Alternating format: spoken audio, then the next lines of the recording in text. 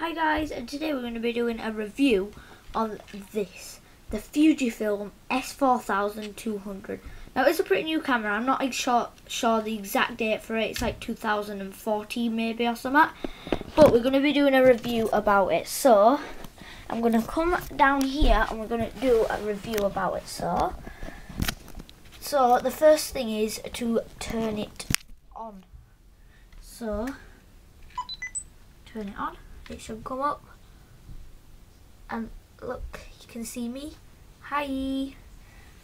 And then actually I think it it's got 24 times optical zoom.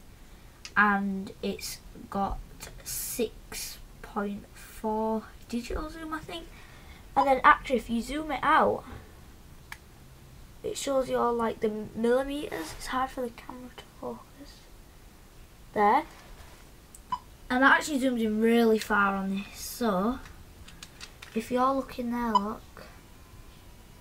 See how far that's zoomed in at me. Then zoom it back out and it's just like that. Right so it actually does have here on the top it's got camera it's got SR Auto Sport Panorama video that's in 180p. It's got, I don't actually know what these are. I googled it and it said, it didn't say anything. But I usually have it on this so like low light. And then I have an SR Auto for like daytime normal pictures. And it does have like loads of different buttons here. So you've got, you've got like the menu, the tiny information menu thing, the grids and that, then look, you, your images would come up here. See it? Look, press the shutter button to go back. So you would press the shutter button, it would go back. To take a picture, it's that.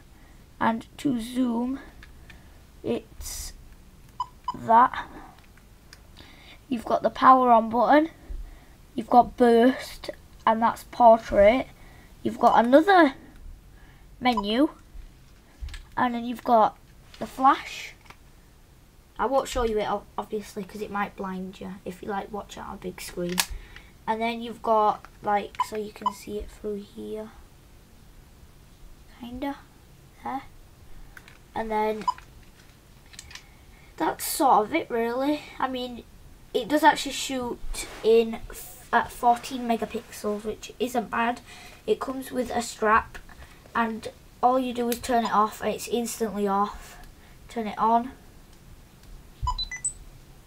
Like that straight on. If you do put the batteries in first which it will take rechargeables you can get like Duracells or anything then it will need them. You can charge them up by a charger and that. And the first time like you put the batteries in if you just put the batteries in you need to set the date and time. And that's kind of it really for this Fujifilm S4000. So if you like this video, don't forget to leave a like and subscribe if you're new. Also click the bell to get all my notifications and I'll catch you in another video. Bye!